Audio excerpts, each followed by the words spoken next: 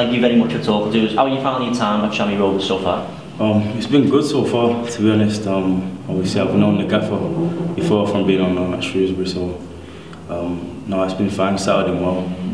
Just looking back on the clubs you play for, Manchester United and Fulham, I think that sort of lot of pressure on your back when, when you come to a club like Shammy to make an impact.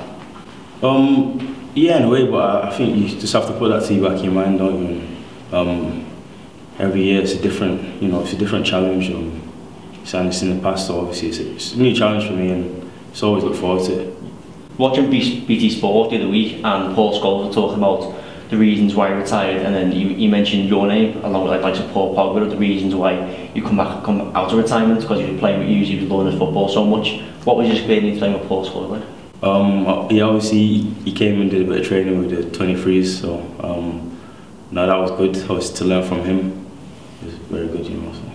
Just, just with Tramier, the sort of the composition of players seems to change every couple of months with players coming in on loan, players leaving on loan, players getting injured. Does, does it sort of mean you've always got to be switched on, you've always got to be ready to sort of take the chance when it comes? Yeah, 100%. Um, obviously, I, I came in, I was kind of in and out myself and picked up a lot of injuries. And so it changes all the time, you know. Um, so you always have to be ready and just keep fit. Yeah. You made a big, big, big impact when you first came, you scored in your debut. What, what was that? What was that, that feeling like?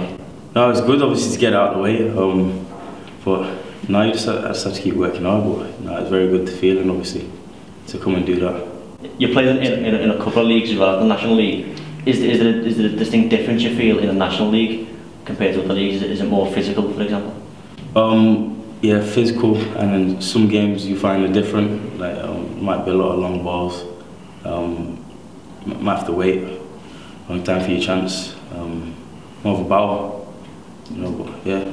Does that mean you've got something to be very switched on throughout the entire game, just waiting for your chance to come? Yeah, yeah, exactly. You can't get, you can't go frustrated sometimes. Like sometimes the games might not be as good, or um, you might not have, even have be having your best game, or be playing the type of game you want to play. But you just have to keep in there, and hope your chance will come.